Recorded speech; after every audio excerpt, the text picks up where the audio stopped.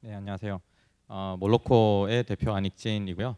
어, 제가 회사를 한 3년 정도 하면서 실리콘밸리에서 어, 가장 어, 많이 느꼈던 어, 부분이 바로 스피드에 관한 부분인데요. 그 부분을 오늘 어, 여러분들께 이야기 드리고 싶습니다. 어, 먼저 개인 소개부터 하면요. 어, 그 행사 홈페이지에 박사 수료라고 되어 있는데 굉장히 사실 좋게 표현해 주신 거고요. 박사 중퇴입니다. 네.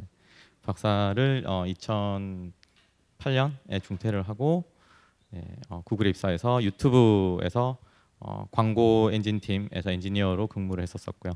어, 그리고 어, 그 이후에 안드로이드 팀으로 2009년 말에 어, 옮겨서 어, 빅데이터 팀에서 이제 엔지니어로서 그리고 팀장으로서 근무를 했었었고요.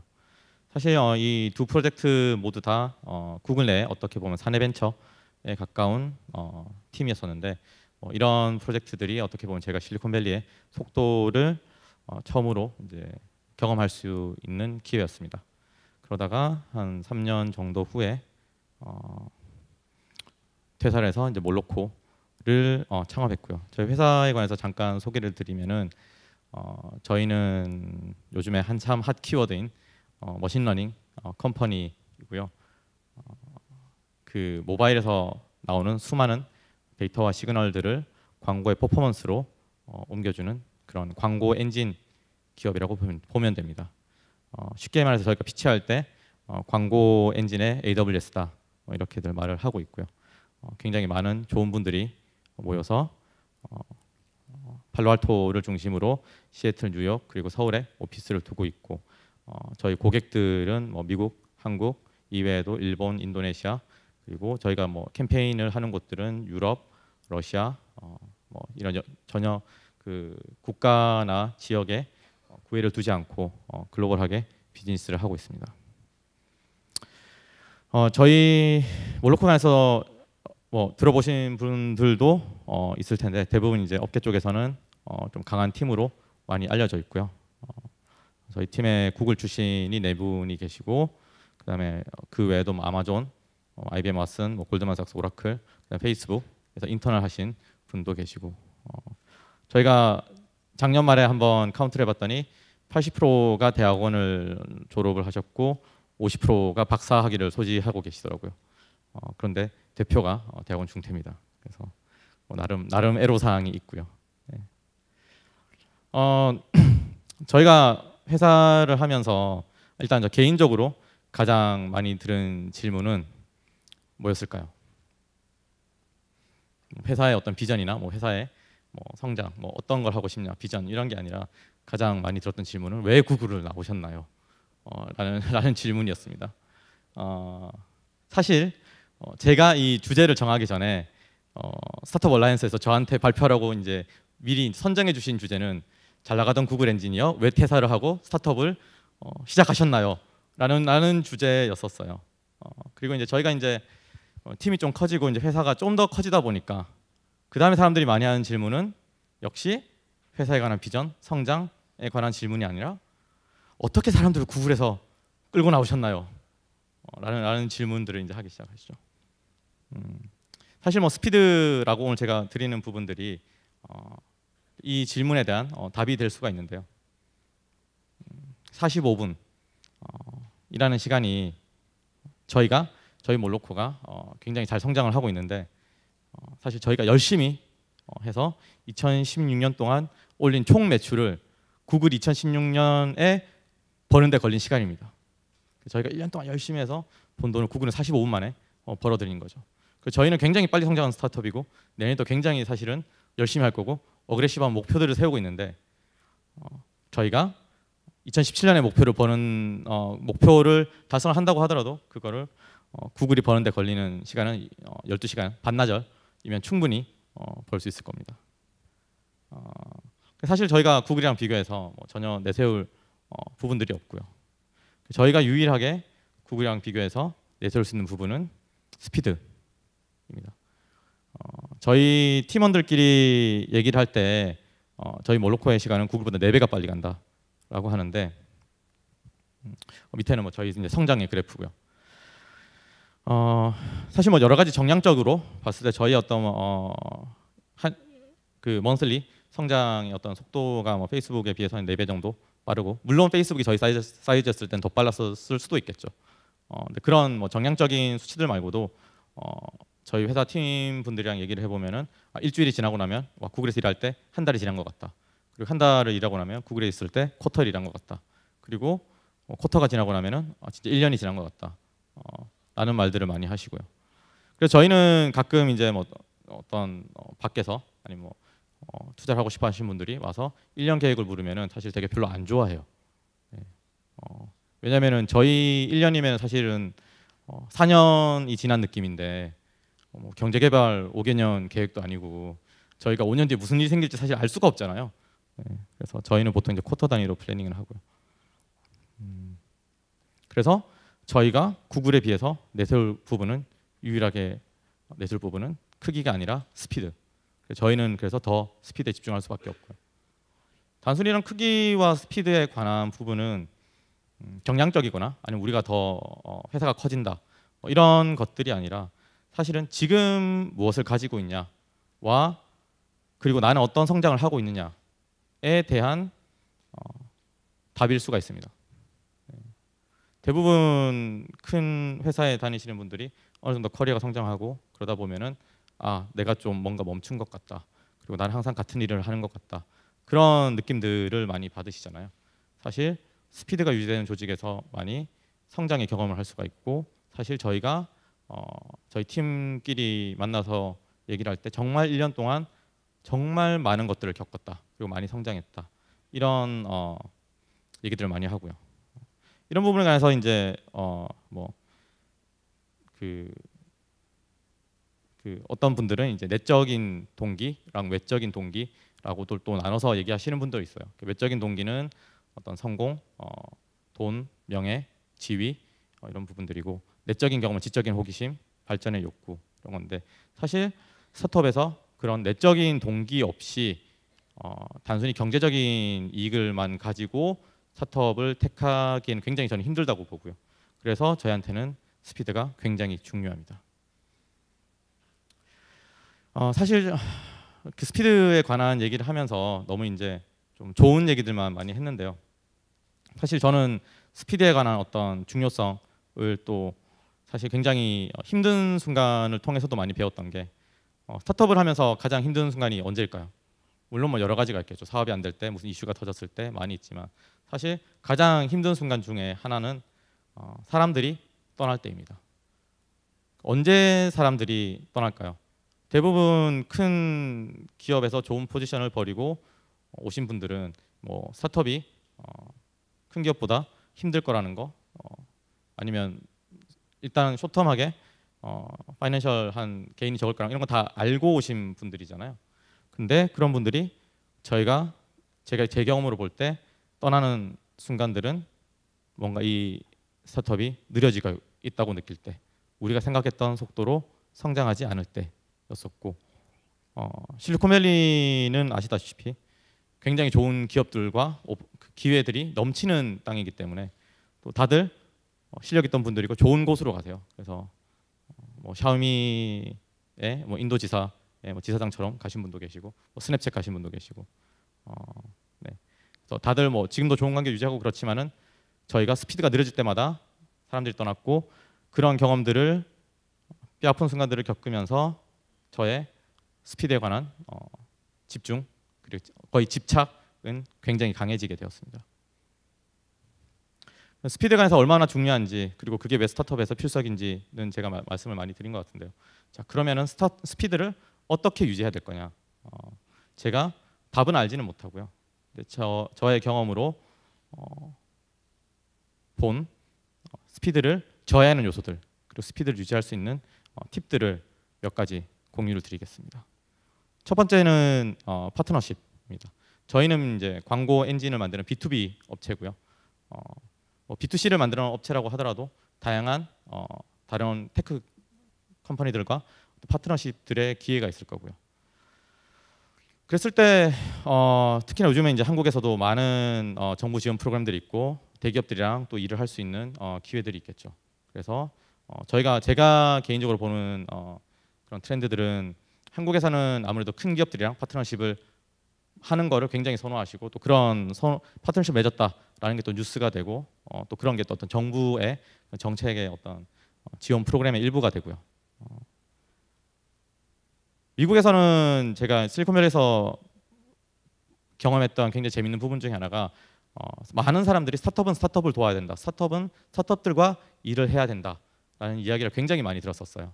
네. 그래서 처음에는 그게 그냥 여기가 서로 돕는 문화, 좋은 문화인가라고 생각했었었는데 사실 어, 스타트업 중에서 어, Y Combinator 지원을 받았었고 저희한테 어떻게 보면 반면 교사가 되는 어, 태블릿 광고를 하다가 실패한 어, 친구들 한번 뭐 Dropbox에 인수가 됐었는데 이야기할 기회가 있었었는데 어, 그 친구들을 통해서 사실 대기업들과 일을 하는 게 얼마나 사실 선의에서 출발했다고 하더라도 스타트업한테는 위험 요소가 될 수 있는지를 뼈저리게 느꼈습니다. 그 친구들이 이제 Y Combinator 나오고 나서 태블릿에서 이제 어, 네이티브 광고를 처음 하게 된다고 하면서 어, 코카콜라랑 이제 일을 할 기회가 있었었고요. 그래서 1년 동안 코카콜라가 원하는 걸 다 만들어줬었대요. 그러니까 코카콜라가 굉장히 또 호의를 가지고 굉장히 어떤 매출을 몰아줬었고, 근데 뭐 대기업도 언제나 결정이 바뀔 수가 있는 거고요. 결, 대기업의 어, 결정의 사이클들은 대부분은 뭐 1년 단위로 바꾸기 때문에 그렇게 해서 1년 다음 내년을 보고 있는 스타트업한테 결정이 바뀌는 순간 그 스타트업한테는 사실은 1년이라는 시간이 사실 문을 닫을 수 있는 시간인 거죠. 그래서 어, 저희가 뼈저리 느낀 거는 크기가 중요한 게 아니라 스피드다. 우리한테 가장 좋은 파트너는 빨리 움직일 수 있는 파트너다라고 해서 저희도 많은 스타트업들과 일을 하게 시작하게 되었고요. 저희가 그런 다른 스타트업들과 일을 하면서 사실 굉장히 놀랬던 부분들은 요즘에 말하는 소위 말하는 유니콘 기업들 어, 아니면 tech 기업들 중에서 마켓 상위에 있는 기업들이 거대 기업들인데 정말 스타트업들처럼 빨리 움직이는 거예요. 사실 이게 제가 오늘 또 슬라이드를 이 토픽으로 슬라이드를 만들게 된 이유 중에 하나인데요. 음, 저희가 이제 요즘에 이슈가 많은 ride sharing 앱 회사와 일을 할 기회가 있었는데 계약까지 걸리는 시간이 3일이었었어요. 그리고 어, 다른 그 모바일 commerce 업체 중에서 가장 큰 업체랑 이제 일을 하게 되었는데 더 놀랬던 거는 여기는 3일도 아니고 미팅을 하고 나서 어, 그럼 당장 시작하자라고 했는데 아 그러면 오피스에 돌아가서 계약서를 보내겠다라고 했더니 계약서 왜 보내냐? 너네랑 일해보고 좋으면 계약서 그때 가서 쓰면 되는 거지. 내가 법인 카드로 어, 천만 원 긁을 거니까 그냥 오늘부터 시작하자. 어, 라고 하더라고요. 그래서 그런 스피드를 보면서 아 많은 많은 경영의 경영학의 뭐 교과서나 책들이 go-to-market strategy를 얘기를 하면서 뭐 SMB부터 출발할 거냐 아니면은 뭐 enterprise부터 시작할 거냐 뭐 이런 얘기들을 많이 하는데 사실은 크기가 문제가 아닌 거예요. 저희한테 가장 좋은 파트너는 스피드를 낼 수 있는 파트너고 아무리 크건 작건 스피드를 못 내면은 우리한테는 좋은 파트너가 아니구나. 네, 이런 기준으로 이제 파트너십을 보게 되었고요. 다른 부분은 조직인데요. 역시 다른 거대 어, 기업의 어, 예지만은 어, 뭐 다, 다들 잘 아시는 그 메신저로 최근 IPO한 유명한 회사에 어, 아는 지인분이 가시게 되었어요. 토요일 날 또 어, 그분의 다른 지인분이 연락이 와서 어, 우리가 샌프란에 오피스를 열었는데 한번 브런치를 먹자라고 해서 갔는데 브런치를 먹고 나더니 매니저 분이 어, 너 얘기 잘 통한 것 같다. 우리 팀원들이랑 한번 이야기해 보지 않을래? 그래서 어 그러자 그랬더니 3연속 인터뷰가 이루어졌대요. 코딩 인터뷰가 이루어졌고 자 끝나고 났더니 점심 먹자. 네, 점심 먹 점심 먹는데 너 코딩 잘하는 것 같은데 그럼 이 정도 오퍼면 오겠냐? 오퍼를 오퍼를 얘기해서 어 알겠다. 정신을 차리고 봤더니 4시에 보니까 첫 번째 코드를 체킹하고 있더래요. 그래서 6시쯤 되니까 아, 이제 집에 가야지. 그래서 우버 불러줘서 집에 가고 있는데 갑자기 전화가 와서 어, 했더니 나 그 회사의 HR인데 너 이름도 모르고 이메일도 모른다. 너 오퍼랑 전화번호만 아니까 지금 이 전화번호로 이메일과 이름을 찍으면 오퍼 레터를 주겠다. 그리고 그 다음 날 채용이 확정이 되었대요. 그게 다 토요일 날 벌어진 일인데 이 이야기를 어, 제가 다른 분들한테 할 기회가 있었는데 많은 분들이 토요일 날 근무했다는데 주목을 하시더라고요. 야, 쟤네 아직도 토요일 날 일한대. 라고 하는데 사실은 그게 핵심이 아니죠. 네. 더 많은 시간을 일을 했다는 게 아니라 그 아침에 브런치를 먹었던 담당 매니저가 그 자리에서 즉석으로 hiring 결정하고 그 그날 모든 걸 다 결정할 수 있다는 그러니까 개개인이 결정을 내릴 수 있었다는 권한이 있었다는 게 사실 핵심인 거잖아요. 아까 제가 commerce 업체 에서도 얘기를 했었지만은 담당자가 저희랑 미팅을 하고 당장 버짓을 할당하고 그걸 자기 법인 카드로 끊을 수 있는 권한. 네. 모든 개개인들이 그만큼 결정의 권한을 가지고 책임질 수 있는 그런 조직에서만 저는 스피드가 나올 수 있다고 보고요. 물론 열심히 일을 하고 하는 거는 기본이겠죠. 네. 그렇지만 사실 그거 뭐 밤을 더 샌다고 해서 하, 하루에 어떤 20% 정도밖에 일을 더 못하지 못하잖아요. 네. 그게 중요한 게 아니라 그렇게 자율적으로 돌아갈 수 있는 조직이 중요하다고 느꼈고 저희 아까 처음에 보여드렸던 것처럼 저희는 지금 이제 네 군데에서 리모트 오피스를 어, 운영을 하고 있고 사실은 다른 쪽에서 자고 있으면은 다른 쪽에서 결정을 내릴 수가 있어야 되는 거예요. 그래서 이런 자율적인 조직이 스피드에서 정말 중요하다 저희가 느꼈었고 마지막으로는 시작입니다. 어, 물론 하나의 국가에서 어, 굉장히 독점적인 서비스를 어, 만드는 것도 굉장히 좋은 비즈니스고요. 근데 그런 거는 천운이 내려야 되겠죠. 네, 그런 게 아니라 저희처럼 B2B라는 업체들은 무조건 글로벌로 네, 가야 되고요. 그래서 글로벌에 관한 부분은 무엇을 하시든지 처음부터 글로벌로 나갈 것을 염두에 두고 만드셔야 되고 그리고 빨리 한 마켓에서 되면 빨리 글로벌로 가셔야 된다고 봅니다. 그리고 끊임없이 글로벌로 가기 위해서 노력을 해야 된다고 보는데요. 음, 많은 제품들이 어, 하나의 마켓만 염두에 두고 만드는 경우가 많죠. 심지어 미국에 진출을 하시면서도 사실 글로벌로 가는 게 아니라 미국을 진출한다고 생각하시고 오시는 분들이 많아요. 근데 미국은 사실은 글로벌 시장으로 가기 위한 관문이지. 네, 이번 행사의 주제가 실리콘밸리를 넘어서 글로벌이잖아요. 그 부분을 염두에 두고 하셔야 되고 그, 저희도 물론 포커스 마켓이 있고 그러다 보면은 똑똑한 사람들이 많이 모여 있으면은 항상 그 마켓에 특화된 솔루션들이 나오기 마련이에요. 그런데 사실 이런 아이디어나 솔루션들이 글로벌로 갈 수 있으면은 그렇게 스피드를 올리는데 도움이 되지가 않아요. 그래서 항상 어떤 것들이 글로벌에 통할지 생각해야 되고 그리고 끊임없이 생각해야 되는. 음, 저희가 이 부분에 관해서는 가장 인상 깊게 보는 기업이 아마존인데 사실 아마존의 메인 비즈니스 자체는 글로벌로 가기 굉장히 힘든 비즈니스잖아요. 또 후발 모바일 commerce 업체들도 사실은 글로벌로 가고 있는 업체들이 거의 없고요. 그런데 아마존이 그 이후에 컨텐츠 사업에 뛰어들었고 그다음 AWS에 뛰어들었는데 저는 그런 순서들이 우연은 아닐 거라고 보거든요. 아마존 사업에서 사실 컨텐츠가 commerce보다는 훨씬 더 글로벌로 가기 쉬웠었고 AWS 통해서 아마존은 완전한 글로벌 기업이 되었죠. 네. 심지어 그런 대기업들도 끊임없이 글로벌로 가고자 하는데 어, 스피드를 유지하기 위해서는 글로벌을 항상 염두에 두고 있어야 된다고 저는 봅니다. 그래서 스피드는 정말 중요하고 회사를 운영하는 방식에는 여러 가지가 있어요. 네, 뭐 일본에 가보시면 뭐 100년 넘은 초밥집들처럼 이제 어, 굉장히 좋은 quality를 유지하면서 어, 오랫동안 어, 좋은 직원들과 이렇게 운영하는 그런 문화도 있고요.